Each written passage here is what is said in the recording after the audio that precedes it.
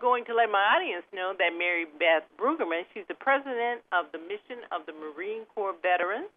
And this national organization has great power and great influence, and she'll tell us a little bit more about it. And Clay Stackhouse is a U.S. Marine Corps veteran and a finance expert with the Navy Federal Credit Union. And once again, I'm going to get started with you, Mary Beth. Uh, tell me about uh, cities in 2022 top. Well, this is for Clay. Which uh, cities top 2022, and how were they chosen? Right. So uh, we did something a little different this year. I've been uh, I've been honored to be uh, the spokesman for this uh, since 2018.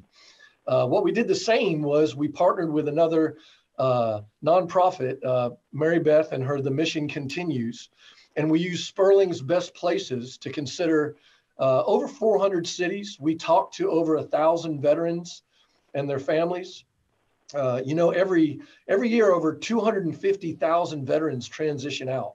Uh, that's an individual transition for each one. So what we did differently this year uh, is we divided our list up into into four categories. So we have an overall list, best cities. We have best cities for families with children.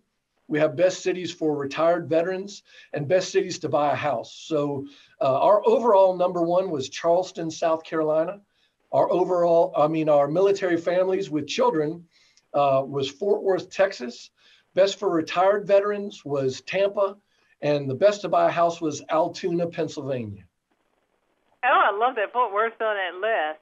Clay, tell yeah. me uh, how often you release an update of this list. Right. I think it's important that we continually reevaluate this list because, uh, you know, when I transitioned in 2015, uh, the mortgage rates were 2.5%. So if you would have transitioned then, you would have had different uh, thoughts and concerns than now. That's the same with breaking the list down, Valder. I mean, that's a lot of individual people transitioning. So uh, if you're transitioning with children, you want to know about education. If you're a, a veteran who's going to live on a retirement income, you're going to want to know about taxes. And if you're buying a house for the first time, you're going to want to know about VA loan rates and, uh, you know, uh, real estate rates, property taxes, things like that. So we want this list to be valuable to each person. And we just want a different reason for each one to come look and say, hey, there's something here for me too. We want it to be valuable to each one of those 250,000 people. I'd like to ask Mary Beth, how can this list help inform others? You know, Clay talked a little bit about how transitions are so unique for service members, and um, that's the value of releasing this list frequently. Excuse me. so it stays updated to the times and can be responsive to what individual veterans need. At the same time, we also know there are some common and connective threads that um, really cut across most service members' transitions. Um, and those are sense of purpose, the lack of sense of purpose that veterans feel when they leave the military, and a lack of connection, um, lack of connection to each other. So you immediately get disconnected from your unit or your tribe. Um, and you are often uprooted from your geographic community as well and are looking for a new place to settle and raise your family. So the mission continues exists to solve for both of those things. Um, we're, we're a national organization that connects veterans with opportunities to continue their service, this time in under resourced communities.